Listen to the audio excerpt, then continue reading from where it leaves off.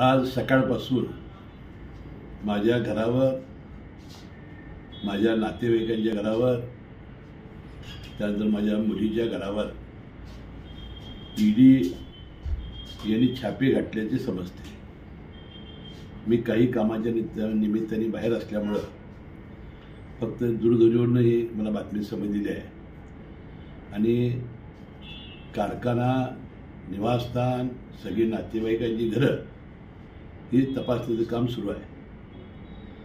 सर्व माझ्या कार्यकर्त्यांना माझी विनंती अशी आहे की त्यांनी शांतता ठेवावी.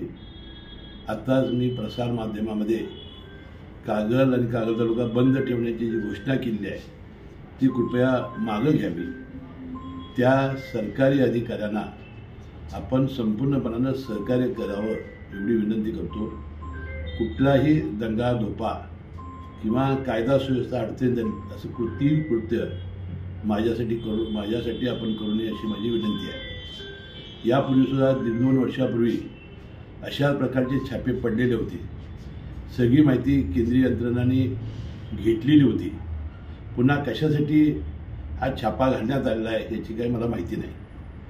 वास्तविक तीस पस्तीस वर्षाचं माझं सार्वजनिक जीवन हे सगळ्या लोकांच्या समोर आहे.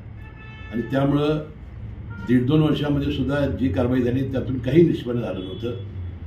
पुन्हा कुठल्या हेतूनं हा छापा घालण्यात आला हेही समजत नाही. मी सगळी कल्पना घेतल्यानंतर प्रसारमाध्यमासमोर खुलासा करीनच परंतु तोपर्यंत सर्व कार्यकर्त्यांनी शांततेचं मी आवाहन करतो. चार दिवसापूर्वी कागल तालुक्याचे एक भारतीय जनता पक्षाचे नेते यांनी दिल्लीमध्ये अनेक वेळा चक्रा मारून माझ्यावर कारवाई करावी असे प्रयत्न त्यांनी सुरू ठेवलेले होते. त्यांचे कार्यकर्त्यांनी आमच्या कार्यकर्त्यांना अतिशय जबाबदारीने मी सांगतो की त्यांनी सांगितलं होतं की चार दिवसात मुश्रीमांच्यावर ईडीची कारवाई होणार आहे.